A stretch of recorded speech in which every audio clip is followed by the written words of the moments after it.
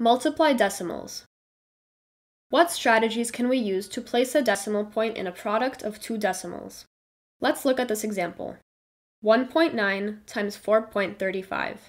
One way is using estimation. We estimate the product by rounding each factor to the nearest whole number and multiplying them as whole numbers.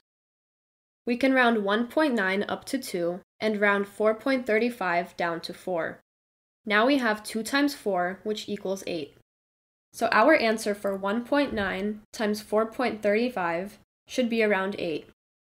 Then we multiply 1.9 and 4.35 as the whole numbers 19 and 435.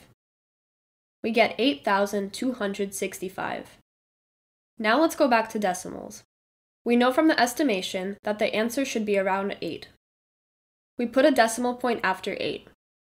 We can't put the decimal point before 8 because it would be 0.8, which is less than 8.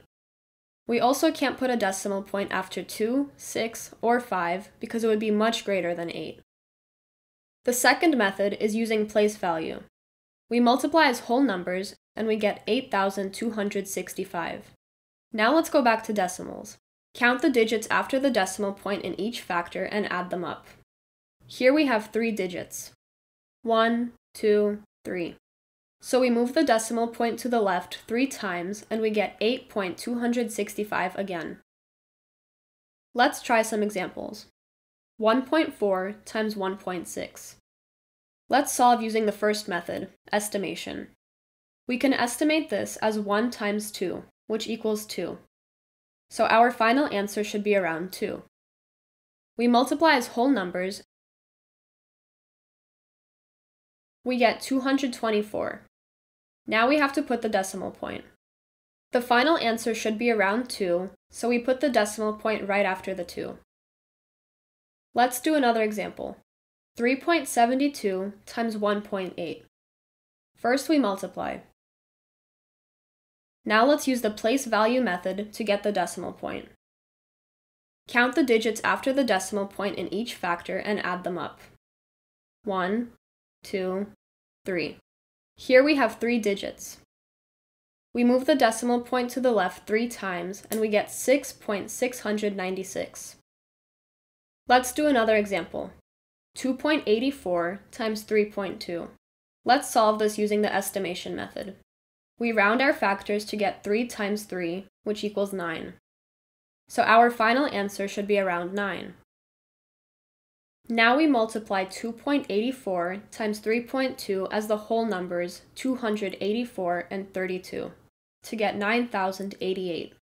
We know our final answer should be around 9, so we put the decimal point right after the 9. Let's try another example. 0.063 times 0.02. We can't use the estimation method here because the numbers are way too small. So we're going to have to use the place value method. First, we multiply.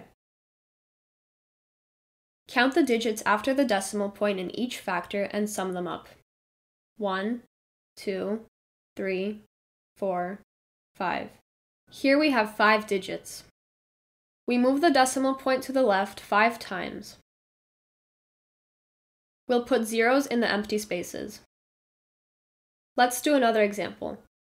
0.017 times 0.21. We use the place value method again because the factors are way too small. First we multiply. Now we have to figure out where we're going to put the decimal point. We count the digits after the decimal point in each factor and we add them up. 1, 2, 3, 4, 5. We have 5 digits, so we move the decimal point to the left 5 times.